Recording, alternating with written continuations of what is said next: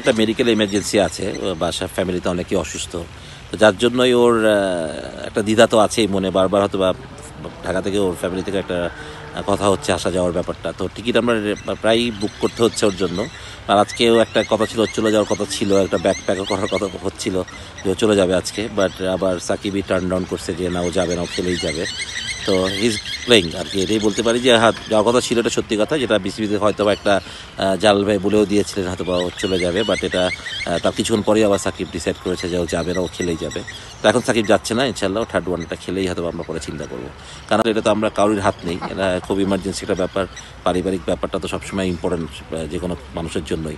তো ওর জন্য ইম্পর্টেন্ট তো এই জন্যই আসলে এরকম হচ্ছে বাট ও টোটালি খেলতে চায় প্রথম থেকে ই ওয়াজ ভেরি ইন্টেন্স খেলার ব্যাপারে ওয়াজ ভেরি সিরিয়াস খুব ফার্স্ট ম্যাচ খেলা তো ম্যান অফ দ্য ম্যাচে হলো সেকেন্ড ম্যাচে রান করেনি কিন্তু বোলিং দারুণ করেছে। সুতরাং হি ওয়ান্স টু প্লে ও চায় এই সিরিজটা জিততে চায়, ও চায় জিততে ভালো করতে। তো জানে যে ও ছাড়া আসলে আমাদের জন্য কতটা ডিফিকাল্ট এই কম্বিনেশনটা ডেভেলপ করা হঠাৎ করি। বাট ভেরি প্লেজেন্ট একটা ব্যাপার যে সাকিব স্যাক্রিফাইস করছে হয়তো বা এই সিরিজটার জন্য। It's very good news for আমাদের জন্য, সত্যি কথা বাংলাদেশ ক্রিকেটের জন্য।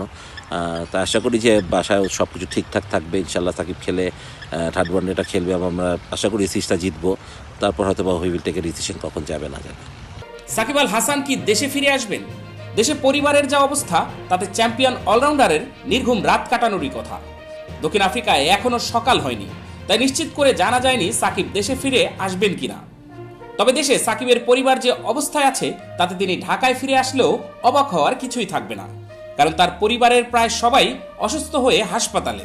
সাকিবের পারিবারিক সূত্রে জানা গেছে, তার স্ত্রী উম্মে আহমেদ শিশির ছাড়া মা, তিন সন্তান, শাশুড়ি সবাই অসুস্থ হয়ে হাসপাতালে।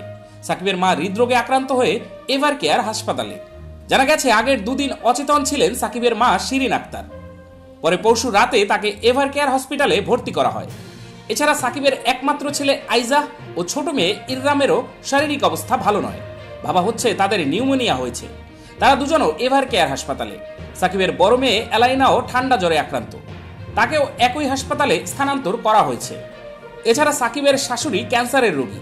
তার চিকিৎসা চলছে সম্মিলিত সামরিক হাসপাতালে। এখন স্ত্রী শিশিরই একমাত্র সুস্থ। তিনিই সবার দেখভাল করে যাচ্ছেন। এরকম কঠিন পরিস্থিতিতে সাকিব দেশে ফিরে হাসপাতালে চিকিৎসাধীন পরিবারের সদস্যদের কাছে চলে আসবেন কিনা সে বিষয়ে নিশ্চিত তথ্য পাওয়া যায়নি। তবে আজ এ বিষয়ে সিদ্ধান্ত হতে পারে বলে ধারণা করা হচ্ছে। এবারে দক্ষিণ আফ্রিকা সফরে যাওয়ার সিদ্ধান্ত নেওয়ার আগে নিজের মানসিক ক্লান্তির কথা বলেছিলেন সাকিব আল হাসান।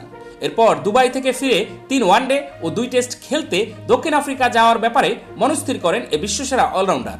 কিন্তু সেখানে গিয়ে আবার পারিবারিকভাবে মানসিক চিন্তার মধ্যে পড়ে গেছেন সাকিব। অসুস্থ হাসপাতালে সাকিবের মা সন্তান সহ পরিবারের পাঁচ সদস্য। ফলে এখন সাকিবের চলতি দক্ষিণ আফ্রিকা সফর হয়ে গেছে অনিশ্চিত।